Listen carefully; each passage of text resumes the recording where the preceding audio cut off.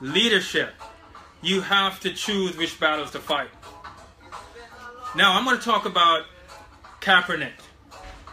And I'm going to talk about black people and where they are in this world today. Today, the fight is about economics. It's an economic freedom. When you're in the wrong fight, you're not the leader. Every life matters. You can't take people who are following you down the wrong path, take them over the cliff. That's not leadership. You uplift people, take them to the top of the mountain if you're going to lead. The message today is that leadership, you have to choose which battles to fight. Leadership, you have to choose which battles to fight. Now, I'm going to talk about Kaepernick. And I'm going to talk about black people and where they are in this world today. For, all, for centuries, hundreds of years, black people have been struggling, struggling to find their way in this world. They have been oppressed. They're not the only ones. Almost every race at some point have been oppressed. Right? And a lot of times people are oppressed because of other reasons. Maybe it's your social status, right? You're born to a caste system in India. You're born to serfdom in Europe somewhere where, you know what? You're born in this group, you stay there, right? The king and all his court living the life. And you're there oppressed. Maybe you're born in a political system, communism or a dictatorship. People have been oppressed in many ways for hundreds and hundreds of years. But I want to talk to black people right now. We have been oppressed for a long time. We found our way, not of our, of our own choosing, in places like the United States, places like the Caribbean, Jamaica, my home country, Latin America. We're all these places, right? Regardless of, of what, how we got there, the fact is we're in these amazing places amazing places. I talk about how much black people own in this world. The Caribbean island. Can you imagine if black people were not in the Caribbean island? You'd be bitching about that. But you own these islands. You own an entire continent called Africa. And you're over 13% of the United States people. Think about that. You're significant. You go to Brazil, you go to Latin America. The African people the contribution. Amazing. But you've been oppressed all this time. Jewish people have been oppressed. Amazing oppression. And I wanted you to talk about how they look at their oppression. How many times do you see the Jewish people walking around, marching in the street today? How many times? About how they're oppressed, about police brutality, about voting rights and all those things today about their gender. I want to look at that. You know what they do? You know what the Asians do? Indians do? It's about economics today. You hear me now and you can spread this anywhere you want to be and talk about what I just said. Today, the fight is about economics. It's an economic freedom because a lot of people all over the world do you know that in India, the majority of people are living on less than one dollar a day? Poor. Do you know that they're all over the world? There are people today are dying to reach America. They'll do anything to get here. And we have black people today who get to places in this world, to heights. Maybe they're athletes. Maybe they're entertainers. Maybe they're surgeons and doctors like me. Maybe they're investors like me. Maybe they're major corporation entrepreneurs. You get to that point, and what do you do? You're in a leadership position. You have to choose your battles. What battles are you going to fight with your blessing? So I want to talk about Kaepernick and everyone who wants to follow him. Let me tell you this. Kaepernick was born to a 19 year old woman. Married, she got pregnant. by a black man. He left her. She was on her own at 19. So now she's looking at herself with this son. So she decided she wanted something better for him. So she put him up for adoption. Milwaukee, Wisconsin. He doesn't even grow up black. He gets this opportunity. He gets to go to college. He's a, an incredible athlete. Football, baseball, basketball. He was right. He had all this opportunity, all his life, blessings after blessings. He's adopted. He makes it to the National Football League. You know how many black kids are struggling out there just to make it? Black, white, indifferent. Just to get a shot at the NFL? And he gets there plays for one of the most recognized team in the world, San Francisco 49ers. And for all those of you who don't know the story, I want to let you know it. For all those who know, I want to remind you of what I'm talking about here. So now, he, he makes it to the Super Bowl in two years. Life is phenomenal. You're making money. You're on the, on the national stage. You're on the world stage. Right? You're adopted and you made it to the top. Everything you have and you decided that what you want to do with that platform, what you want to do with your blessings, is to fight against the American flag, is to take a knee during the national anthem? You tell me how that makes any sense. Hundreds of years of history of black people struggling, and you make it to the top, and your battle is to fight against great America? Now you have the president, you're going to fight against him? You're going to fight against every police officer out there? You're going to pick up Black Lives Matter? Every life matter. Where'd you come with that? That's your battle.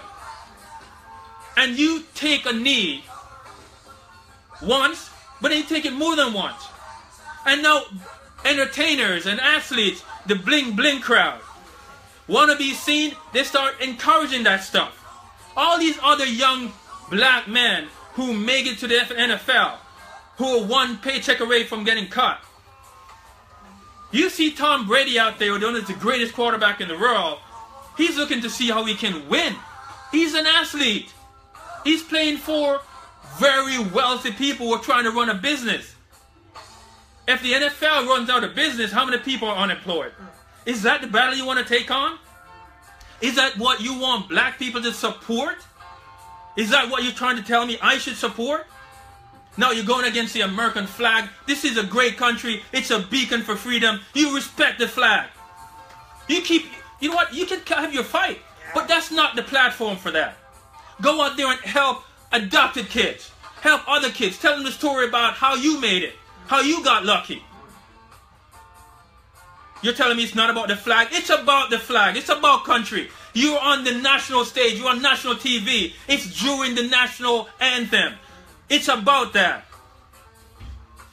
You can't be taking on the United States as one man. You know many black people have tried that and lost everything? Marcus Garvey, one of, he's a mentor. I've read about his life. He came to the United States from Jamaica. And he had a phenomenal message about personal economic development. Right? He believed in individual responsibility and empowerment through economics. You are in this country, own your own business.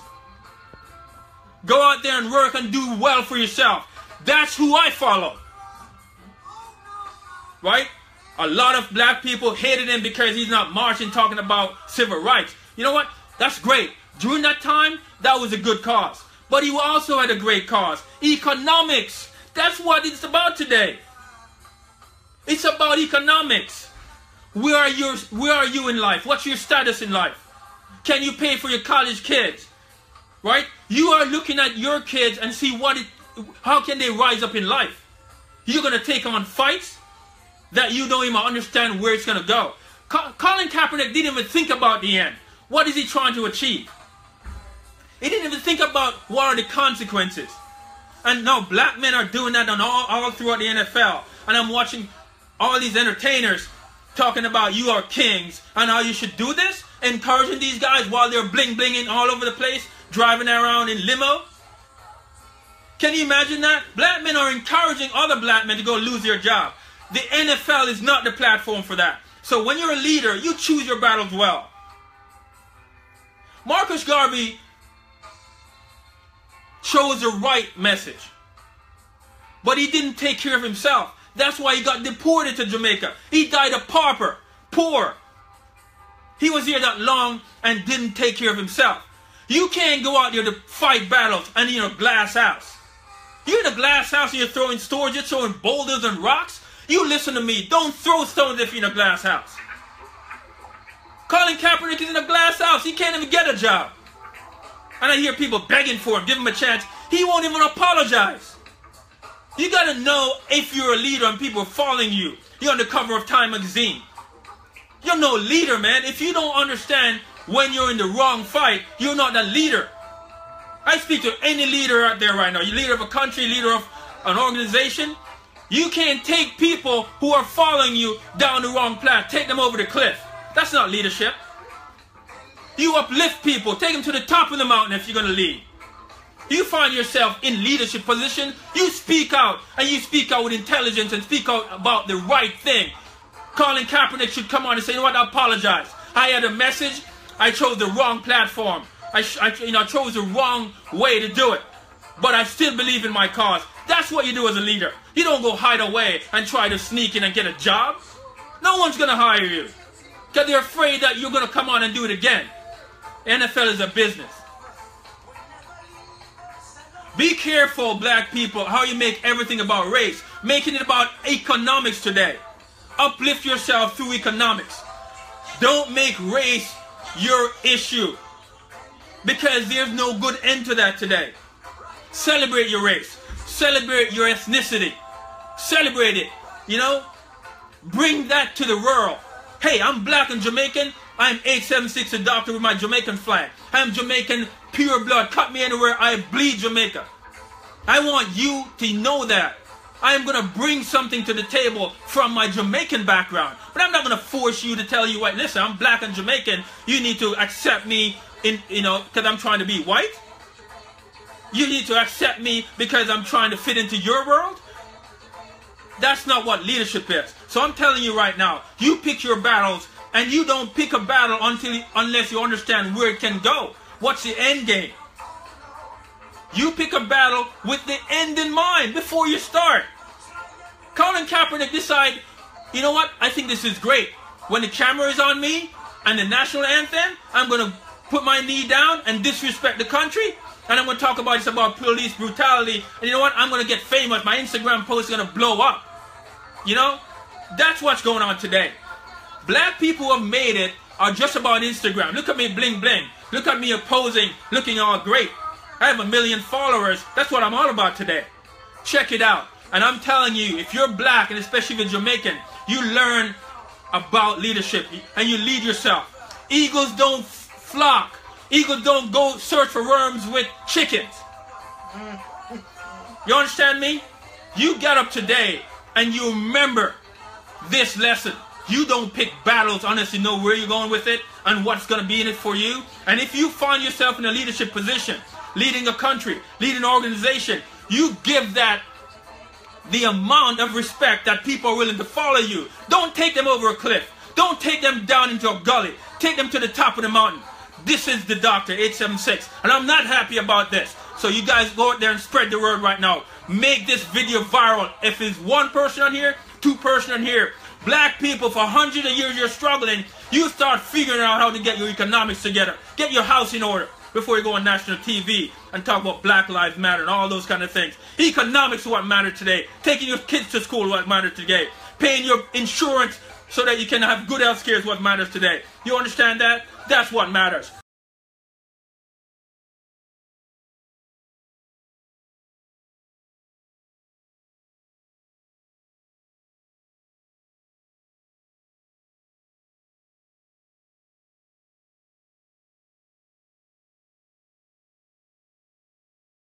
Follow and subscribe to my YouTube channel, Prove Yourself TV, to get more proven success tips.